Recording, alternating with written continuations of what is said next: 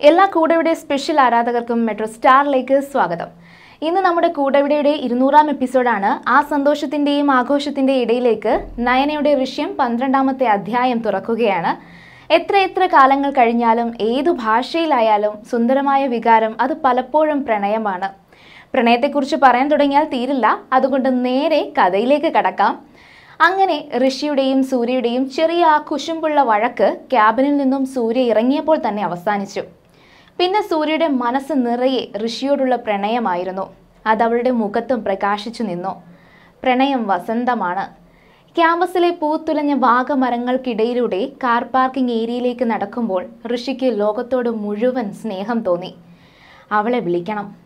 കോളേജിലെ നാക്ക് വിസിറ്റുമായി ബന്ധപ്പെട്ടുണ്ടായ സംഭവങ്ങൾ മിത്രയെ വല്ലാതെ അലട്ടി.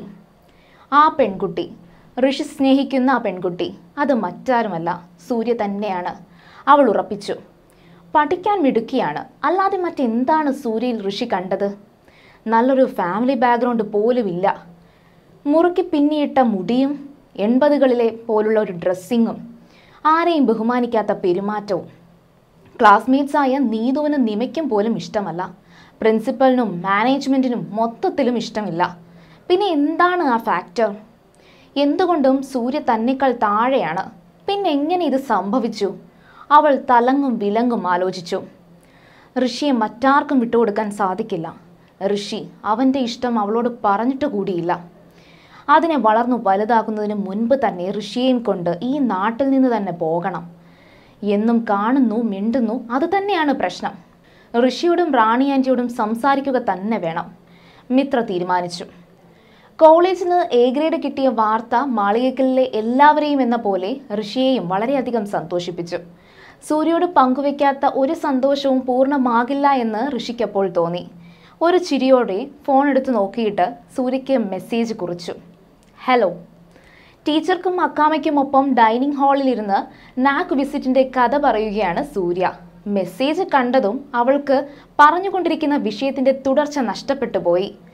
ഫോൺ കയ്യിലെടുത്ത് അവൾ അവരിരുവരെയും ഒളികണ്ണിട്ടൊന്ന് നോക്കി. ഉള്ളൊന്ന് തുടിച്ചു. ഹലോ തിരിച്ചു മറുപടി കൊടുത്തു. സൂര്യയുടെ ചിരിയും പെരുമാറ്റവും ടീച്ചർ ഒന്ന് ശ്രദ്ധിച്ചു.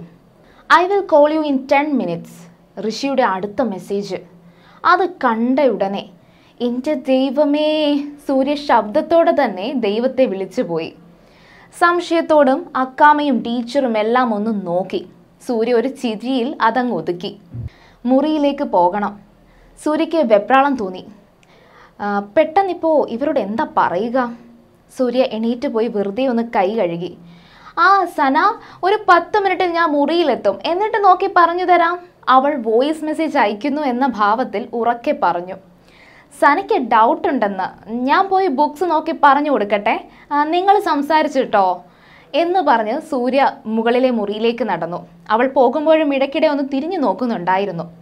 സൂര്യയുടെ ആ പെരുമാറ്റത്തിലെ അസ്വാഭാവികത തോന്നിയ ടീച്ചറും അക്കാമയും പരസ്പരം ഒന്ന് നോക്കി. അവൾ മുറിയിൽ കയറി കഥ കടച്ച് തഴുതിട്ടു. കട്ടിലിൽ ചെന്നിരുന്നു. ഫോൺ നോക്കി. എഴുന്നേറ്റ് കണ്ണാടിക്ക് മുന്നിൽ വന്നു നിന്നു. വാടാമല്ലിപ്പൂവിന്റെ നിറത്തിൽ നിറയെ ഞൊറികളുള്ള നീളൻ പാവാടയും ബ്ലൗസും ഇട്ട് മഷി എഴുതിയ കണ്ണുകളോടെ അവൾ തന്റെ പ്രതിരൂപം നോക്കി നിന്നു.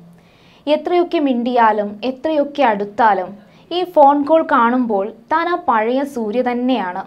ഏറുന്ന ഹൃദയമിടിപ്പോടെ അവൾ ഋഷിയുടെ call കാത്തുനിന്നു Rishi sir calling hello sir Surya തിരക്കിലാണോ? Rishi ചോദിച്ചു. അല്ല സർ തനിക്ക് മെസ്സേജ് അയച്ചു കഴിഞ്ഞപ്പോൾ ലക്ഷ്മി ആന്റി മുറിയിലേക്ക് വന്നു. അതാ ഞാൻ ടെൻ മിനിറ്റ്സ് എന്ന് പറഞ്ഞത്. ഋഷി വളരെ ഫ്രീ ആയിട്ടാണ് സംസാരിച്ചത്. നമുക്ക് എ ഗ്രേഡ് കിട്ടിയത് അറിഞ്ഞോ താൻ? ഉവ് സർ ഗ്രൂപ്പിൽ കണ്ടു. കൺഗ്രാറ്റുലേഷൻസ് സൂര്യ പറഞ്ഞു. താനായിരുന്നല്ലോ അന്നത്തെ സ്റ്റാർ. അപ്പോൾ ഇത് തനിക്ക് കൂടി അവകാശപ്പെട്ടതാണ്. പറയത്തക്ക സന്തോഷമൊന്നും അതിൽ തോന്നിയില്ലെങ്കിലും സൂര്യ ഒന്ന് ചിരിച്ചു. പിന്നെ ഞാൻ വിളിച്ചത് അത് പറയാനല്ല. പിന്നെ പ്രസന്റേഷൻ താൻ കുറച്ച് സീരിയസ് ആയിട്ട് എടുക്കണം. ഇത് നല്ലൊരു ഓപ്പർച്യൂണിറ്റിയാണ് ഓക്കെ സാർ ഞാൻ പ്രിപ്പയർ ചെയ്തോളാം. സൂര്യയുടെ വാക്കുകളിൽ ആത്മവിശ്വാസമുണ്ടായിരുന്നു. മൂന്ന് ദിവസത്തേക്കാണ് പ്രോഗ്രാം. താൻ കണ്ടു കാണുമല്ലോ. തന്റെ പ്രസന്റേഷൻ രണ്ടാമത്തെ ദിവസമാണ്. അതുവരെ നിന്നാൽ മതി. ഇവിടുന്ന് ഏകദേശം ആറ് മണിക്കൂറുണ്ട് തൃശ്ശൂർ വരെ. വെളുപ്പിന് തിരിച്ചാൽ പത്ത് മണിയാകുമ്പോഴേക്കും ജോയിൻ ചെയ്യാം. നെക്സ്റ്റ് ഡേ ഈവനിങ് തിരിച്ചാൽ രാത്രി വീട്ടിലെത്താം. ഒരു ദിവസത്തെ സ്റ്റേ മതിയാകും. ഡെലിഗേറ്റിനുള്ള അക്കോമഡേഷൻ അവർ തന്നെ അറേഞ്ച് ചെയ്യുന്നുണ്ട്. ഋഷി ഇതെല്ലാം നോൺ സ്റ്റോപ്പായിട്ട് പറയുമ്പോൾ സൂര്യയ്ക്ക് പെട്ടെന്ന് പേടി തോന്നി. ടീച്ചറോട് എങ്ങനെ പറയും? വീട്ടിലെന്ത് പറയും? സൂര്യയുടെ അനക്കമൊന്നും ഇല്ലാതെ ആയപ്പോൾ ഋഷി സംശയത്തോടെ സൂര്യ എന്നൊന്ന് വിളിച്ചു. ആ കേൾക്കുന്നുണ്ട് സാർ. പിന്നെന്താ താനൊന്നും മിണ്ടാത്തത്? ഒന്നുമില്ല സാർ. ഞാൻ ആലോചിച്ച് നിന്ന് പോയെന്നേ ഉള്ളൂ. എങ്കിൽ തനിക്കിനി ടെൻഷനുള്ള ഒരു കാര്യം കൂടി ഞാൻ പറയാം. ഋഷി അത് പറയുമ്പോൾ ആ മുഖത്തൊരു നാണച്ചിരിയുണ്ടായിരുന്നു. ഞാൻ തന്റെ കൂടെ വരുന്നുണ്ടെന്ന് തൽക്കാലം ആരും അറിയണ്ട. ഒന്നും ഉണ്ടായിട്ടല്ല. അറിഞ്ഞാൽ ചിലപ്പോൾ നിരീക്ഷണത്തിന് ആരെങ്കിലുമൊക്കെ വരും. പിന്നെ അത് പറഞ്ഞതുപോലെ തനിക്ക് ബുദ്ധിമുട്ടായാലോ? ഋഷി കളിയാക്കി ചിരിച്ചു. സൂര്യയ്ക്ക് മിത്രയെക്കുറിച്ചും മറ്റും അറിയാതെ എന്ന് പറഞ്ഞു പോയ കാര്യം ഓർത്തിട്ട് ചമ്മൽ തോന്നി. അവൾ അയ്യേ എന്ന് പറഞ്ഞ് കണ്ണുകൾ ഇറുക്കി അടച്ചു. സൂര്യ പേടിയുണ്ടോ? പേടിയുണ്ടോ എന്ന് ചോദിച്ചാൽ ഇല്ലെന്ന് പറയാൻ പറ്റില്ല. സാറിന് പേടിയുണ്ടോ? സൂര്യ കള്ളച്ചിരിയോടെ തന്നെ ചോദിച്ചു. അത് എന്നെ ഒന്ന് താങ്ങിയതാണെന്ന് മനസ്സിലായി. എന്നാലും പറയാം പേടിയില്ല. പിന്നെ അനാവശ്യമായ പ്രശ്നങ്ങൾ ഉണ്ടാവുന്നത് ഒഴിവാക്കാം എന്ന് മാത്രം. മനസ്സിലായി സാർ ഈ യാത്രയിൽ തന്നോട് എനിക്ക് കുറച്ചേറെ സംസാരിക്കാനുണ്ട്. ഇപ്പോഴത്തെ അവസ്ഥയിൽ ഇവിടെ വെച്ച് അത് നടക്കില്ല. അതുകൊണ്ട് കൂടിയാ നമുക്ക് പോകണമെന്ന് ഞാൻ പറഞ്ഞത്. അയ്യോ ആ വാക്കുകൾ സൂര്യയെ വല്ലാതെ ടെൻഷനാക്കി. സൂര്യയുടെ മനസ്സ് തുടിച്ചു. സാറ് പറയുമോ? ഇഷ്ടമാണെന്ന്? ഫോൺ ചെവിയിൽ ചേർത്തുകൊണ്ട് വീണ്ടും അവൾ കണ്ണാടിയിലേക്ക് നോക്കി. ലജ്ജയിൽ കുതിർന്ന ഒരു ചിരി വന്ന് അവളുടെ മുഖം നിറച്ചു. സൂര്യ താൻ കേട്ടല്ലോ അല്ലേ? ആ കേട്ടു സർ. അവളുടെ ശബ്ദം അത്രമേൽ പ്രണയാർദ്രമാണെന്ന് ഋഷിക്കും തോന്നി. ഋഷി ചിരിച്ചു. അവളും. ആദ്യമായി അവർ ഒരുമിച്ച് ഒരു സ്വപ്നം നെയ്തു തുടങ്ങി. അവർ പരസ്പരം അറിഞ്ഞു കഴിഞ്ഞിരിക്കുന്നു. അവർക്കിടയിലുള്ള പ്രണയത്തിന്റെ ആഴം. ഇനി ആരാണ് ആദ്യം മനസ്സ് തുറക്കുക എന്നുള്ളത് മാത്രമാണ് കണ്ടറിയാനുള്ളത്. അത് ഏതായാലും ആ യാത്രയിൽ സംഭവിക്കുമോ എന്ന് നമുക്ക് നോക്കാം. നയനയുടെ കഥ മുൻകൂട്ടി നിങ്ങൾ വായിച്ചിട്ടും എന്റെ അവതരണത്തിനായി കാത്തിരിക്കുന്നതിൽ ഒരുപാട് സന്തോഷമുണ്ട് കേട്ടോ. അപ്പോൾ അടുത്ത ഭാഗം നാളെ പറയാം. ഇനി ഇത് നിങ്ങൾ ആദ്യമായിട്ടാണ് കാണുന്നതെങ്കിൽ മുൻപുള്ള എപ്പിസോഡുകൾക്കായി ഡിസ്ക്രിപ്ഷൻ ലിങ്ക് ചെക്ക് ചെയ്യാം. അതോടൊപ്പം നയന താറ എന്ന കൂടെവിടെ ആരാധികയുടെ എഴുത്തുകളാണ് നിങ്ങൾ കേൾക്കുന്നത്.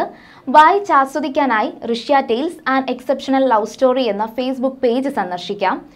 നയനയുടെ ഒഫീഷ്യൽ പേജാണത്. കഥയെക്കുറിച്ചുള്ള അഭിപ്രായങ്ങളും നിർദ്ദേശങ്ങളും എല്ലാം നിങ്ങൾക്ക് നയനയെ തന്നെ അറിയിക്കാവുന്നതാണ്.